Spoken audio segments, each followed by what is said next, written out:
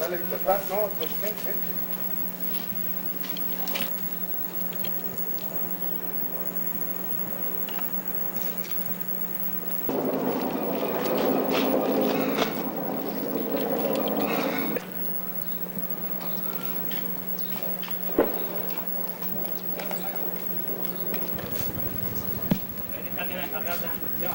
Mirá, llegás a esa esquina de ahí pues, y le das. No, futuros.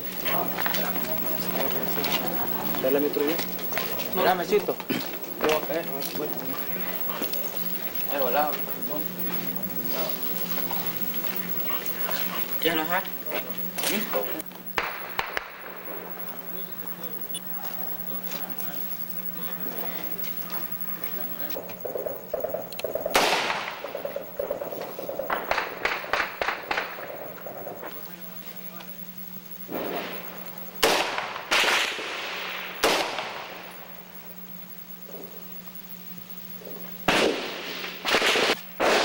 No están, ellos no están por abajo.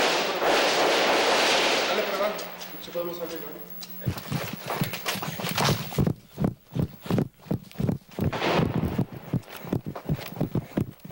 No sabemos quién nos... Mire, este es el crimen más grande que han hecho. Cerdos, hijos de la gran Con gente honrada. Ahí en mi finca, la han deshecho mi casa. Me la tomaron, tengo 10 días. No es justo que un hijo de puta como Hongo y sus comparsas vivir con gente honrada. Yo soy unidad productiva de este país. Vengan a ver a quién es. Que no vuelvan nunca, malditos.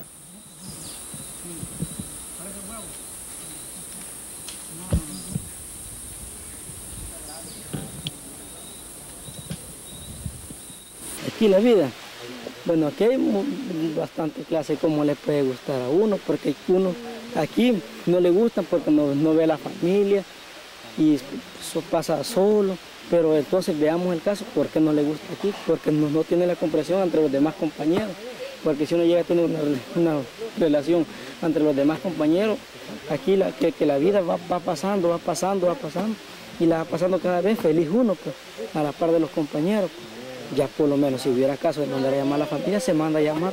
Aquí llegan a estas repoblaciones a verla y aquí baja uno, pues, donde hay días que pasa en crisis uno. Desea uno, pues sí, estar en su casa, pero eso es un ratito, pues ya de allí ya llega la normalidad uno. Teniendo en este operativo, le alcanzamos 110 bajas, tuvimos un muerto, tres heridos. Pero nosotros estuvimos por toda la zona alta, ¿no? Esperándolo y siempre andábamos con una mentalidad de matarlo, pues, no que lo iban a matar. Y aún así los pasamos y veníamos a traer la, que la recepción, pues la comida. Nosotros nos metíamos al caserillo. ¿Y tú te harías ahorita viviendo en una ciudad? ¿Crees que te acostumbrarías? No puede ser ni tanto que me acostumbraría, porque como yo de allá afuera soy, de afuera, y yo sé cómo se vive allá, pues. Hay veces se sufre más allá que aquí, porque aquí por lo menos tenemos donde comer bastante, bastante clases de verdura y todo. Y aún todos los que vemos aquí tenemos mil países bajos. Todos los de aquí trabajamos en tierra, estamos en esto y estamos trabajando allí. Trabajamos a las par de las majas también, les ayudamos también tanto como ellos en determinado momento los ayudan también a nosotros. O sea, que sí sentís tú que el cambio de montaña a ciudad como que sí, como que sí para ti sería un poco difícil. Así es.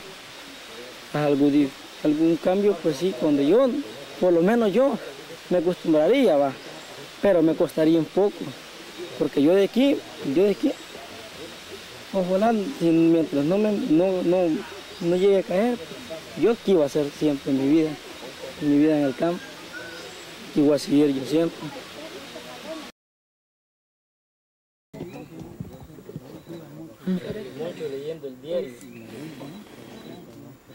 Ya, firmes.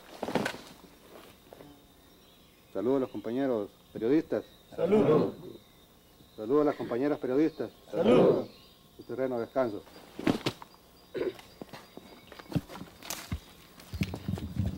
Mira, terreno, descanso. Bien, entonces vamos a proceder a dar combustible y equipo ahí al lado.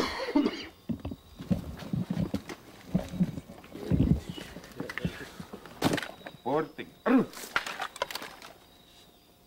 Con las tareas. Nos preparamos. Para vencer.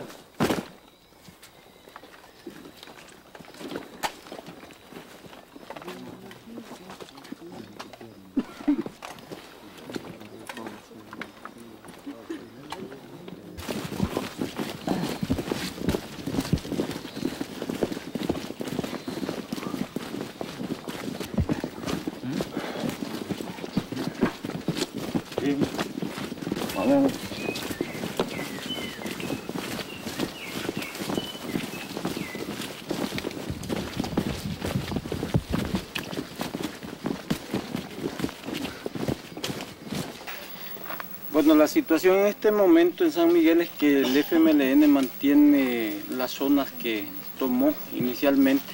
Han habido combates muy fuertes a partir del día miércoles. eh, bueno, digamos desde el principio el, el ejército lo podría hacer en otras condiciones de combate. En ese sentido, pues nuestra situación es bastante buena, hemos tenido bastante incorporación y apoyo del pueblo, nuestras fuerzas han crecido y pues podría decir que estamos muy confiados que a pesar de la enorme cuota de sangre, los hechos, la forma en que nos está enfrentando el ejército nos reafirma la total justeza y legitimidad de nuestra lucha por la democracia, de la lucha por eh, cambios radicales en cuanto a, a la necesidad de la justicia social y la democracia política en nuestro país.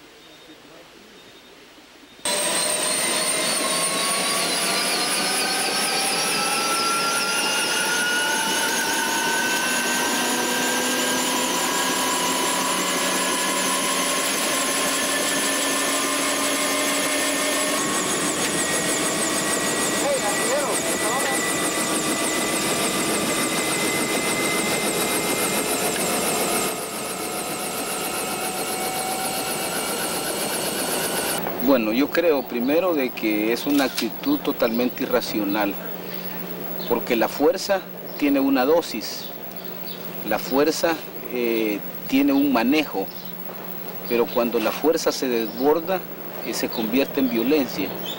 Y lo que se está realizando acá es una violencia totalmente irracional, es, algo dantesco definitivamente cómo se maneja eh, la destrucción y la muerte. Definitivamente de que los costos van a ser demasiado altos, que objetivos no van a lograr en ningún momento. Yo creo que eh, esto lo podrán estar manejando para el consumo externo y generar una concepción eh, triunfalista o, estar vendiendo un producto inexistente hacia afuera, pero yo creo que que ellos no pueden estarse creyendo ellos mismos al interior como están las cosas, estar creyendo eh, sus propias mentiras o las concepciones que definitivamente no pueden desarrollar. Se habla de que ayer fue derribada una 37. ¿Qué impacto tendría, digamos, en los combates que están librando en este momento? Bueno, ninguno, impacto no tienen, recursos materiales se hacen, las vidas es lo más importante. Eh, el, el- el avión, eh, el piloto tuvo que eyectarse por estar en una herida y entonces eh, era más importante la vida de nuestro compañero que, el material.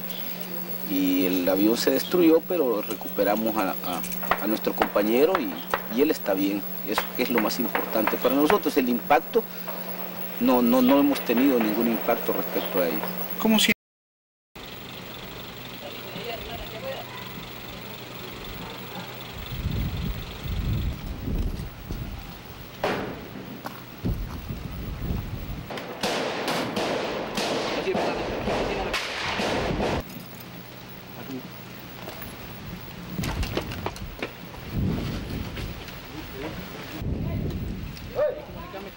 ¿Ya están adentro?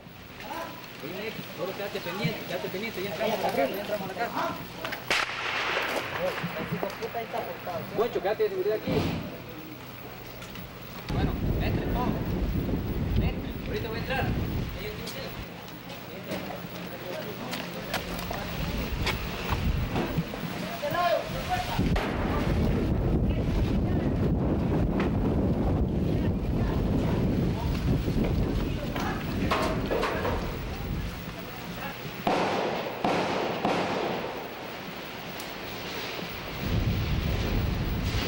La tomé en la cara.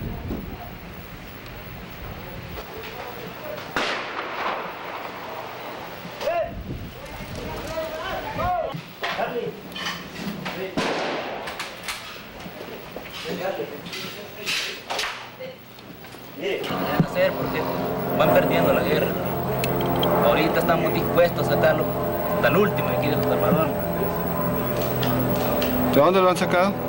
Hemos venido desde allá de, de la iglesia allá de la Ceiba, de Guadalupe. Por todo eso hemos venido avanzando y van huyendo. Van huyendo porque es de más, no pueden con el ejército. ¿A qué hora empezaron a combatir ustedes? Ahorita de allá empezamos a caminar de, desde las 12 de la madrugada. Hemos venido avanzando por todo esto. El batallón de infantería marino está dispuesto a, a sacar a todos estos delincuentes terroristas. ¿Y cómo te sentís de estar aquí en la capital, de que ahora la capital sea campo de batalla? Bueno, aquí a la capital hemos venido, nos han traído de Zulután desde que empezó esto, men. y aquí estamos dispuestos a sacar al último, de que saquemos el último, vamos a salir de aquí. Estamos dispuestos a, a salvar al pueblo, a todo el pueblo salvadoreño de los delincuentes terroristas.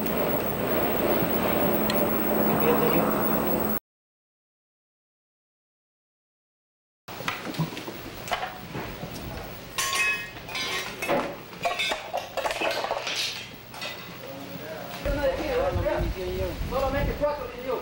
Ya, ya, pues, vienen aquí.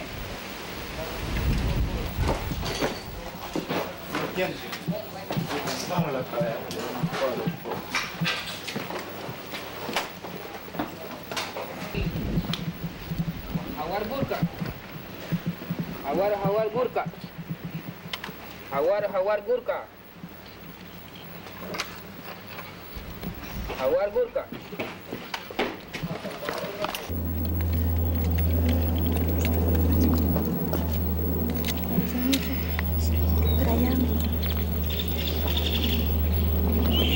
Bueno, pues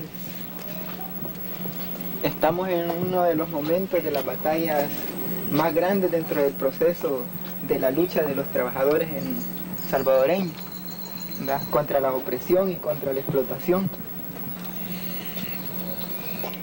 Vamos hacia adelante, no vamos a retroceder. ¡Ey, Samudio!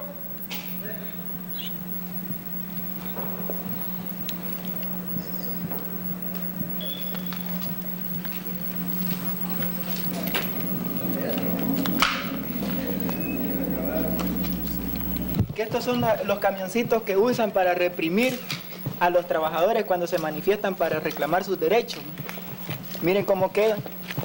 Ellos están haciendo una gran propaganda para, para hacer aparecer ante el mundo y quitar la atención de que están siendo derrotados. Pues, pero aquí los trabajadores estamos organizados y armados y dispuestos a llegar a la victoria y estamos a un paso de ella. tranquilo.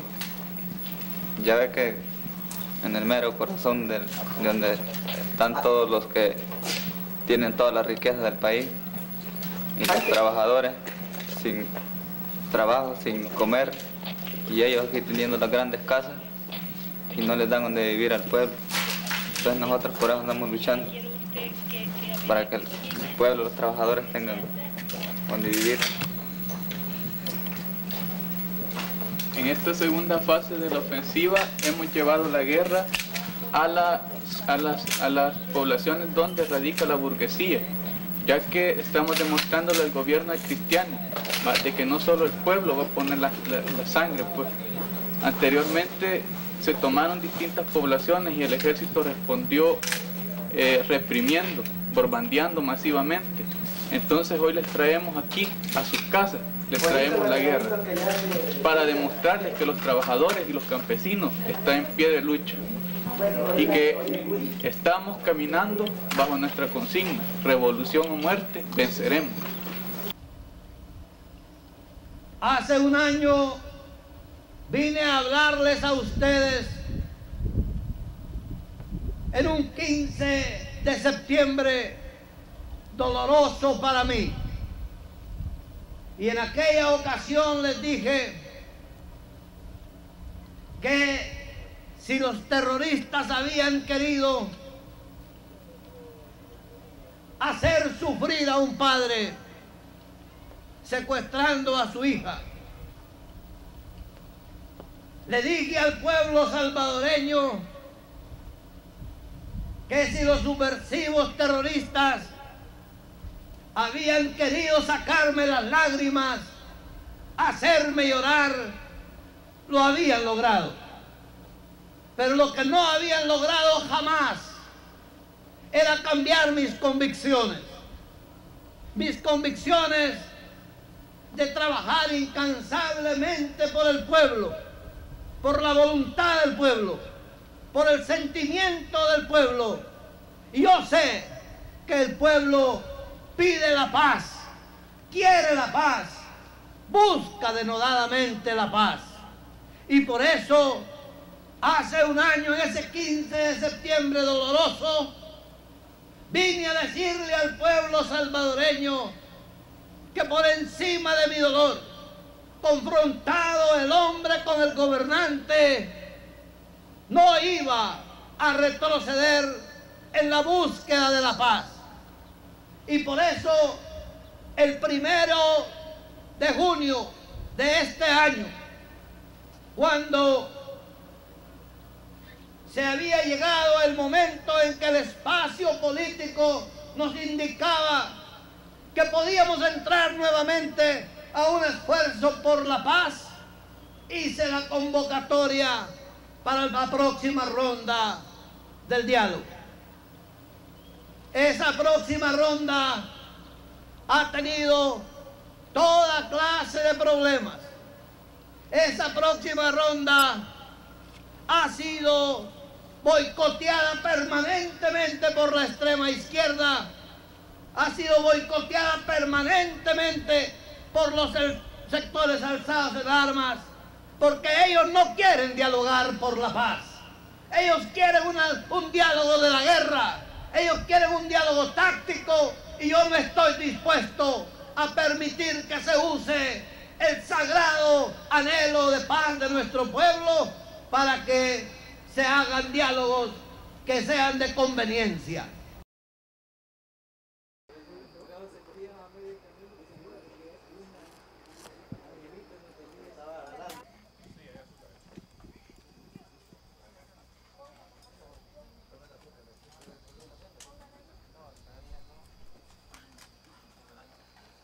Pero lo que sobre todo deseamos es que las previsiones se cumplan y que quede definitivamente para una paz firme y duradera en el querido pueblo de El Salvador. Muchas gracias.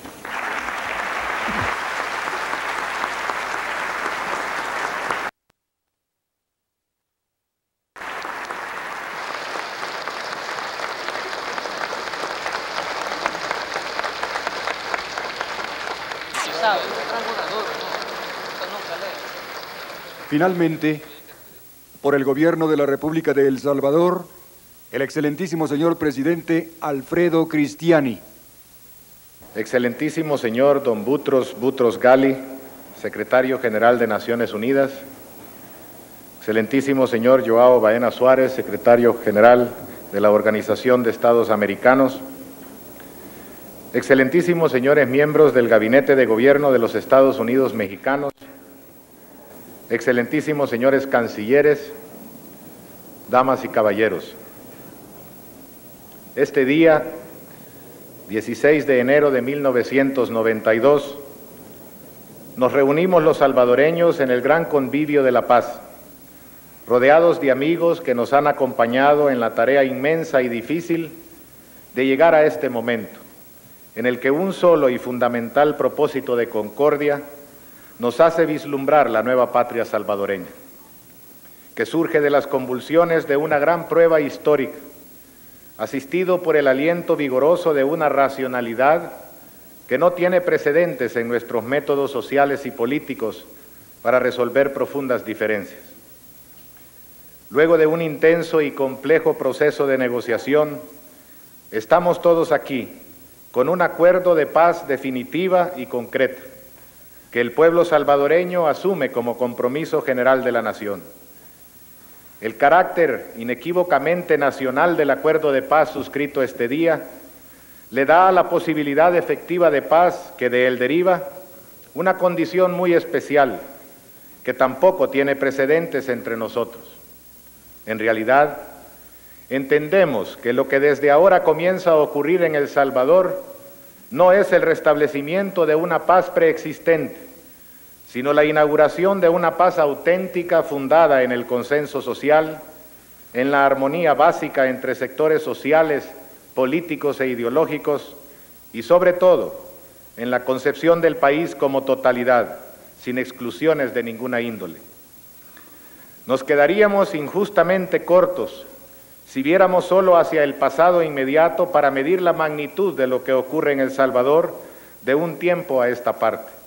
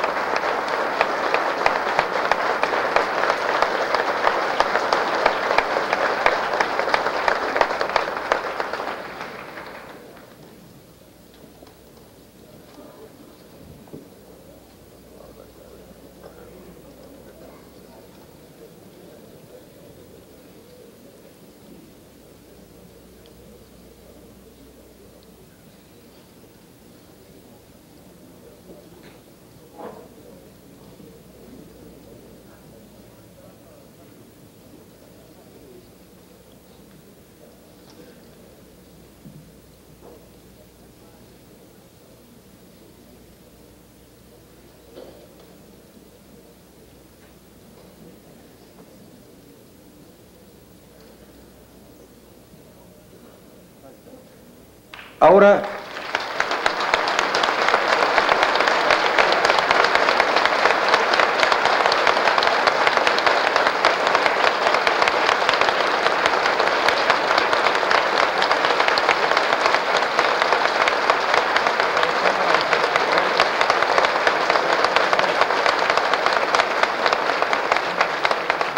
Ahora habrá de firmarse la declaración de apoyo por parte de los jefes de Estado y de Gobierno.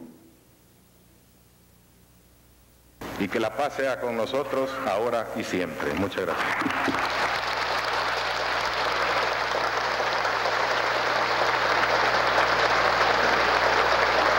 Las palabras del licenciado Alfredo Cristiani, presidente constitucional de la República, en este foro internacional. y en estos momentos estamos viendo al presidente de la República fuera de protocolo saludando a la delegación del Frente Farabundo Martí para la Liberación Nacional, el primer encuentro directo precisamente el día en que se firma la paz. Repitiendo, esto estaba fuera de protocolo y vemos como el presidente de la República extiende su mano a los miembros del Frente Farabundo Martí para la Liberación Nacional y ahora se dirige a la comisión que le representó en estas negociaciones de paz. Los asistentes están realmente emocionados y lo que estamos viviendo en estos momentos es también emocionado. El beso a su esposa, doña Margarita de Cristiani. La gente está de pie aplaudiendo este gesto y aplaudiendo más que todo esta voluntad de todo un pueblo que el día de hoy está poniendo fin a la guerra en El Salvador. El saludo al presidente Carlos Salinas de Gortari. El abrazo, el abrazo al presidente Pérez,